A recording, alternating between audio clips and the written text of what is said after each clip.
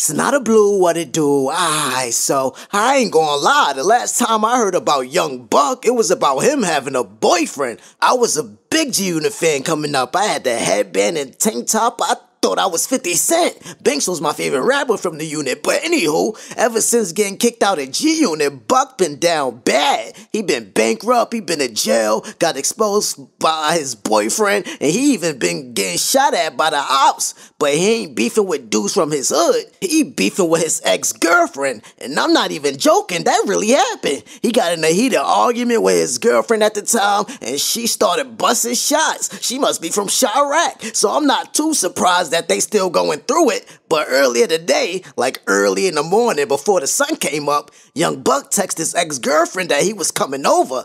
Like when I text Dyke Booty and May in the wee hours of the morning, she know what time it is. Get the strawberries and whipped cream ready and take off the training bra. But moving on, moving on. So Buck texted his girl he was coming over, and when he came over, she didn't answer the door. So that pissed Buck off, and he started donkey kicking the door, trying to break it down and get up in there. He must have just got done watching Reno 911. But while he doing this, his girl in the crib watching him on the security footage, and she waited for him to leave to go and check the damage he done. And she went outside and she noticed her door was fine, but her car Buck had kicked her driver's side and passenger side door in. He thought he was on a bonus round of Street Fighter. But she called the cops and gave them a description of Young Buck's car, and they ended up catching him leaving the area.